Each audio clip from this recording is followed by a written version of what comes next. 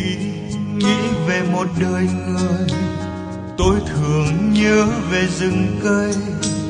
Khi nghĩ về một rừng cây, tôi thường nhớ về nhiều người. Trẻ trung như cụm hoa hồng, hồn nhiên như ngàn ánh lửa. Chiều hôm khi gió về đã mọc từ thuở nào.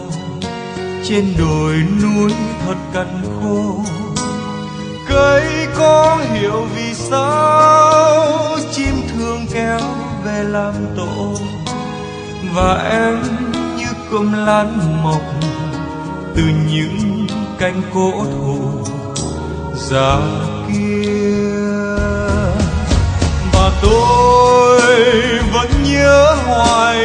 một cây sống gần nhau thân mới thẳng có một cây là có rừng, và rừng sẽ lên xanh.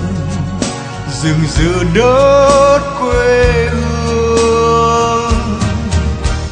Ai cũng chọn việc nhẹ nhàng, gian khổ sẽ dành phần ai ai cũng một thời trẻ trai, cũng từng nghĩ về đời mình.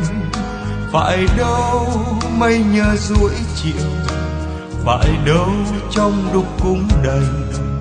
Phải không anh? Phải không em? Chân lý thuộc về mọi người, không chịu sống đời nhỏ nhoi xin hát về bạn bè tôi, những người sống vì mọi người.